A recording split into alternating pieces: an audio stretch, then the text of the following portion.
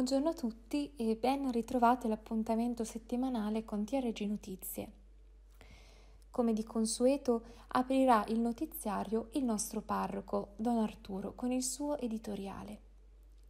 Farà seguito la lettura del calendario liturgico, degli avvisi della parrocchia, dell'oratorio e di pubblica utilità.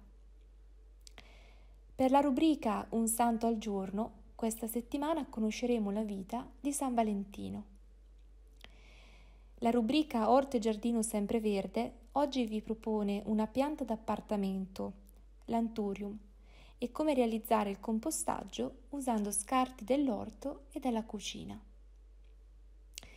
Martedì 16 febbraio termina il periodo di carnevale e Luigi ha cercato per noi alcuni momenti dei carnevali più belli d'Italia. Buona visione. Cari amici, in settimana, mercoledì 17 febbraio. È il giorno delle ceneri, l'inizio della Quaresima.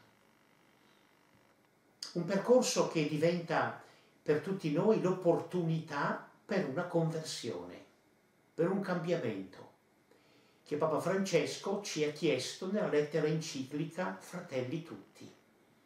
La conversione di diventare capaci di amare maggiormente, di uscire da se stessi vincendo il proprio egoismo e di donare e donarsi. E tutto questo avendo come modello il dono che il Signore Gesù fa a noi della sua vita. Le proposte che all'interno della nostra comunità parrocchiale avremo modo di conoscere, ci permetteranno di fare questa esperienza di uscita da noi stessi per viaggiare verso l'altro, che vive vicino o lontano da noi. Questo incontro sarà anche l'occasione di esercitare l'arte della carità, che unita alla preghiera e al digiuno ci aiuterà a vivere pienamente l'esperienza del dono. Adesso tocca a ciascuno di noi, singolarmente, come famiglia, come gruppo, fare questa scelta di imparare ad esserci, esserci anche per gli altri, così come Gesù c'è stato per ciascuno di noi. Insieme insieme proprio perché eh, la strada percorsa con gli altri, con gli amici, diventa una scoperta sempre invitante e sempre appagante il desiderio del dopo, di quel futuro a cui il Signore ci attende, ci chiama, camminando con noi e indicandoci la gioia dell'amore. E allora cerchiamo davvero di cogliere la profondità di questo messaggio. Lascio la parola adesso a Chiara, vice direttore dell'ufficio missioni della nostra diocesi, che ci presenta proprio il sussidio, lo strumento a nostra disposizione per poter fare nostro lo spirito della Quaresima di questo 2021. Buon percorso allora, verso la Pasqua di Resurrezione. Arrivederci. È con noi Chiara Gabrieli, vice direttore dell'Ufficio per le Missioni della nostra diocesi. Con lei parliamo della Quaresima, Quaresima che nella nostra diocesi ha sempre un'impronta, una vocazione missionaria. Abbiamo prodotto un nuovo libretto che accompagnerà nostri, le nostre comunità in questo cammino di Quaresima, un libretto che è frutto anche della collaborazione di più uffici. Sì, eh, quest'anno, come è stato fatto l'anno scorso, eh, questo sussidio è davvero un lavoro di sinergia delle eh, tre aree pastorali, quindi l'area per la mondialità, per la società e per la crescita della persona, insieme anche al seminario diocesano. E questo è un vero esempio di, di sinergia che addirittura eh, le nostre parrocchie potrebbero adottare come stile pastorale da mettere in pratica. Un cammino quindi costruito dalle tre aree pastorali, un cammino che chiede anche un impegno eh, perché all'interno raccontiamo alcuni progetti missionari che avranno bisogno del nostro sostegno. Sì, eh, quest'anno sosterremo quattro progetti eh, missionari che eh, sono in alcune parti del mondo. Eh, il primo è il puericultorio, cioè un orfanotrofio che c'è nelle periferie di Lima e che è mm, sostenuto e aiutato dall'operazione Matto Grosso. Il secondo progetto è un convitto per i giovani studenti eh, delle colline eh, a Mugutu, che è in provincia di Gitega in Burundi, eh, l'ospedale di Kiremba, ma in particolare i Centre de Santé, che sono questi centri di salute, una sorta di ambulatori medici che ci sono sulle colline, nelle colline che eh, ruotano intorno a Kiremba e che aiuterebbero a far sì che eh, il malato che giunge all'ospedale può essere già curato in questi ambulatori prima di giungere magari gravi eh, presso l'ospedale che appunto è storico perché è da più di 60 anni in gestione alla diocesi di Brescia insieme alla diocesi di Ingozzi. E l'ultimo progetto ha un titolo che è lo stesso della lettera pastorale del nostro vescovo, non potremo dimenticare perché eh, in tutto il mondo tutti i nostri eh, presbiteri fidei donum e la, laici fidei donum stanno vivendo questo momento che appunto è un, di coronavirus, di pandemia, tale che anche loro sono in grande difficoltà nella gestione della loro parrocchia, dei fedeli e delle prime necessità, a cui già loro fanno fronte quotidianamente perché in paesi del sud del mondo. Cercheremo di aiutarli anche noi attraverso appunto questo nostro quarto progetto fidei donum che sono appunto in difficoltà, sappiamo anche il tema dei, dei, vaccini che nei paesi del sud del mondo di fatto non è ancora stato aperto. Abbiamo una quaresima missionaria con eh, la tradizionale cassettina, ma quest'anno è un percorso più interattivo. Sì, è un percorso più interattivo, già eh, parte con una novità perché il format è completamente rinnovato, non è più il classico libretto un po' più piccolino, ma è tale quale ha come la nostra rivista Chiremba, che è il magazine che viene eh, inserito all'interno della Voce del Popolo, tra l'altro l'avrete appena ricevuto nelle vostre case, voi abbonati della Voce, perché è inserito all'interno dell'ultima uscita di giovedì 11 febbraio, eh, in modo tale che possa arrivare in maniera più capillare anche nelle case delle, dei, dei bresciani.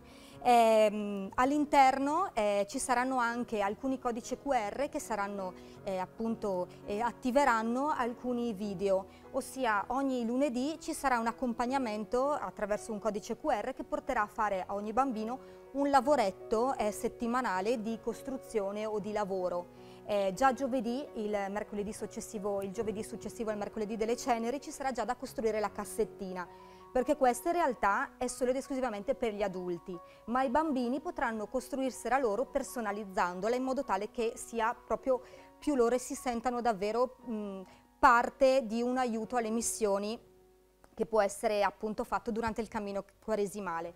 Il mercoledì ci sarà un altro codice QR che rimanderà ad alcune fiabe del mondo, sempre rivolte a bambini, il venerdì eh, il, un video che eh, sosterrà i nostri vari progetti che abbiamo appena descritto. E la domenica ci sarà eh, il, mm, il, mm, il, commento al Vangelo che sarà affidato a Don Claudio Lafranchini che ci ha aiutato nell'elaborazione di questo sussidio, che ci aiuterà meglio a commentare il Vangelo della domenica con un taglio anche eh, dal titolo nostro che è Voce del Verbo Essere, che è il titolo del nostro sussidio. Sussidio quindi formato diverso, contenuti sempre eh, importanti sui quali riflettere, riflettere anche in famiglia, un cammino da fare appunto insieme nelle nostre famiglie. Il sussidio l'avete ricevuto con la voce del popolo e le parrocchie hanno avuto anche l'opportunità di prenotarlo appunto presso eh, l'ufficio per le missioni. Ringraziamo Chiara Gabrieli di essere stata con noi. Calendario liturgico pastorale. Oggi domenica 14 febbraio, in parrocchiale alle ore 18.30, Santa Messa, defunti Giuseppe, Cecilia e Giuseppe. Lunedì 15 febbraio in oratorio alle ore 8, Santa Messa, defunti Ignazio, Anselmo, Tondi Maria e Pierino. In oratorio alle ore 18.30 Santa Messa, defunti Feroldi Paolino e Angela, Gervasio Teresa e Boffelli Giovanni. Martedì 16 febbraio in oratorio alle ore 8 Santa Messa. Defunti Chiara Giuliani e Marini Anselmo. In oratorio alle ore 18.30 Santa Messa. Defunti Augusto e Teresa. In oratorio alle ore 20 Preghiera di lode Santa Messa. Mercoledì 17 in parrocchiale alle ore 8 Santa Messa. Defunti Brignani Caterina e Vignoni Carlo. In parrocchiale alle ore 16 Liturgia della Parola. In parrocchiale alle ore 18.30 Santa Messa pro Populo. In parrocchiale alle ore 20.30 Santa Messa. Defunti Lorenzi Renzo e Andrea. Giovedì 18 febbraio in oratorio alle ore 18.30 Santa Messa. Defunti Morbini Domenica, Paolo, Gianni, Piera, Tedeschi Renato e Marisa. Venerdì 19 febbraio in oratorio alle ore 8 Santa Messa. Defunti Piero e Nerina Doninelli. In oratorio alle ore 15 Via Crucis in oratorio alle ore 18.30 Santa Messa, defunti Battista, Pierina, Aldo, Annibale e Lucia. In parrocchiale alle ore 20.30 Via Crucis, animata dalla contrada del centro storico. Sabato 20 febbraio in parrocchiale alle ore 18.30 Santa Messa, defunti Alfano Antonia, Gardoni Fausto, Manfredi, Nadia. Domenica 21 febbraio, in parrocchiale alle ore 8, Santa Messa. Defunti Giovanni, Vittoria, Francesco e Giacomo. Alle ore 10, Santa Messa. Defunti Biloni Andrea, Franco, Giuseppe, Angela, Annunciata, Battista e Gino. Alle ore 15, Santo Battesimo in parrocchiale alle ore 18.30 Santa Messa, defunto Don Gianfranco Lazzaroni. Educando, corso per la comunità, educatori e giovani in oratorio. Lunedì 15 febbraio alle ore 20.30 con Don Raffaele Maiolini, parola, celebrazione e carità. La tridimensionalità della Chiesa per poter essere e vivere la sua missione nel mondo lunedì 22 febbraio alle ore 20.30 con Don Raffaele Maiolini, quando le chiese dicono la Chiesa, piccolo excursus artistico-teologico. Mercoledì 17 febbraio, Sacre Ceneri, dalle ore 12 alle ore 14, adorazione eucaristica. Digiuno e astinenza. La legge del digiuno obbliga a fare un unico pasto durante la giornata, ma non proibisce di prendere un po' di cibo il mattino e la sera. La legge dell'astinenza proibisce l'uso delle carni. Alla legge del digiuno sono tenuti tutti i maggiorenni fino al sessantesimo anno iniziato e alla legge dell'astinenza coloro che hanno compiuto il quattordicesimo anno di età. Rimane in oratorio. L'apertura del cortile dal cancellino laterale dal martedì al venerdì dalle ore 15 alle ore 17 il sabato apertura del bar e del cortile dalle ore 14 alle ore 18 e la domenica apertura del bar e del cortile dalle ore 11 alle ore 12 e dalle 14 alle 18. E cerchiamo genitori o giovani che rimangano presenti nel cortile dell'oratorio nell'orario di apertura di sabato e di domenica. Si ricorda la raccolta mensile per il restauro della chiesa parrocchiale domenica 14 febbraio. Ci sarà poi un incontro con le suore figlie dell'oratorio in oratorio il giovedì 18 febbraio alle ore 20 e 15, un incontro dal titolo Via privilegiata per educare alla vita buona del Vangelo. A Carnevale stare a casa vale. Anche se non possiamo incontrarci in oratorio per festeggiare il carnevale, ti invitiamo a partecipare alla sfilata in maschera. Manda una foto WhatsApp con il tuo costume di carnevale, ricordando di specificare il tuo nome, a Don Nicola al numero 333 83 19 460 entro lunedì 15 febbraio 2021. Un'attenta e competente giuria premierà le maschere più originali. Con tutte le foto pervenute realizzeremo un video e lo pubblicheremo sui canali social della parrocchia.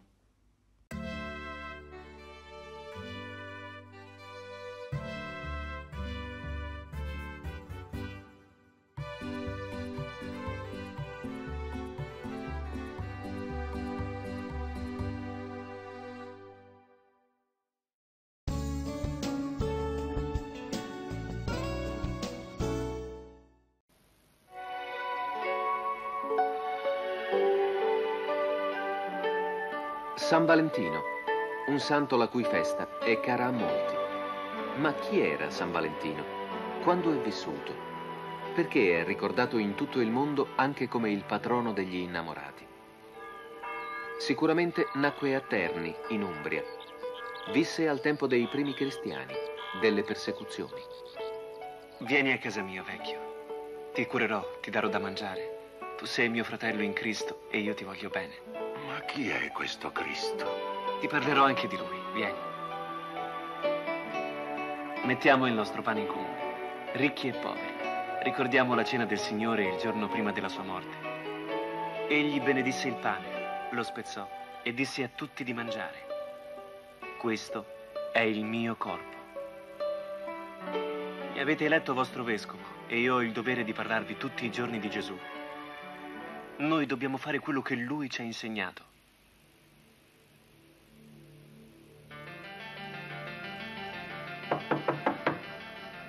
Avanti, la porta è sempre aperta.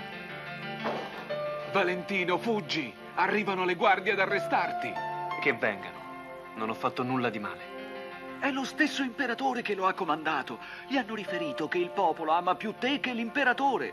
Non deve amare me. Deve amare Gesù, soprattutto.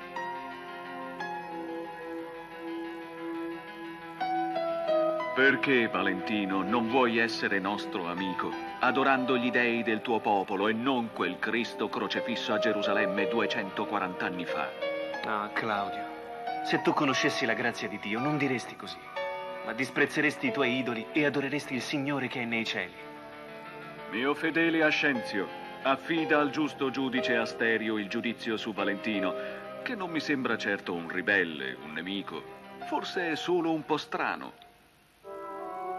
Il tuo nome, Valentino, viene da valere, cioè star bene, essere sani. Se il tuo Dio e tu restituirete la vista a questa mia figlia cieca da quando aveva due anni. Solo per la tua gloria, Signore. Io non sono nulla. Nel nome di Cristo, Egli che tutto può, i tuoi occhi vedano la luce. Anche il tuo spirito accolga la luce di Dio.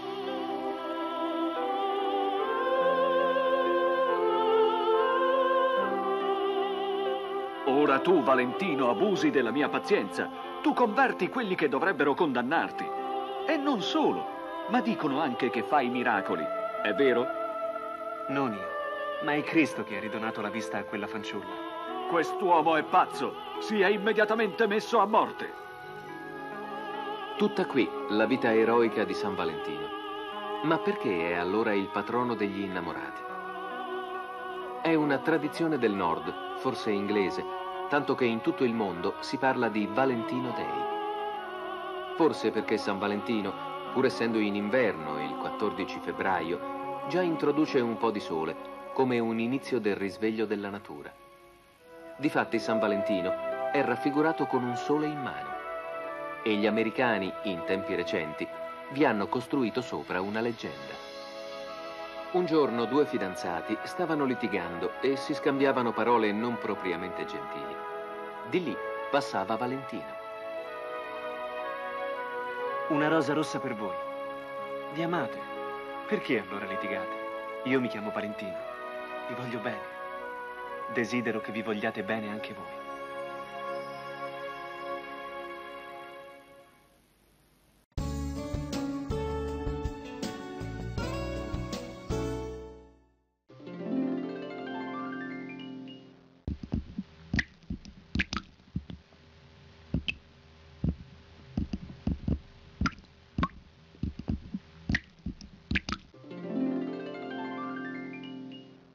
Fiore di cera? L'anturium. Come la stella di Natale, anche l'anturium è una pianta da interni che, se messa in condizioni climatiche adatte, può avere lunga vita. Il nome deriva dalla conformazione della pianta, dal greco antro, ossia fiore, e oura, cioè coda o spatice. Adatto per l'appartamento e per l'ufficio, l'anturium è di facile manutenzione. Necessita infatti di poca acqua per mantenere il terriccio umido ma non bagnato. La famiglia degli anturium è molto ampia e oggi se ne contano 900 tra specie e varietà. Il primo tipo arrivò in Europa dalla Costa Rica attraverso il dottor Khan van Scherzer nel 1857 e dopo vent'anni circa arrivò dalla Colombia una nuova specie che assieme a questa fu studiata, modificata, manipolata al punto da ottenere tante altre specie. La gamma cromatica degli Anturium comprende il bianco, le diverse tonalità di rosa, di arancione e di rosso, con bellissime foglie, anch'esse di vario colore e spessore. L'infiorescenza interna o spiga o spatice ha un colore che varia dal giallo chiaro al giallo arancione.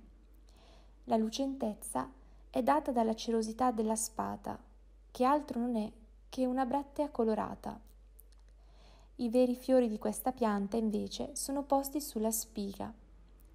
L'anturium è molto utilizzato dai fioristi come fiore reciso e come importante elemento decorativo nelle composizioni di fiori freschi. Il compostaggio.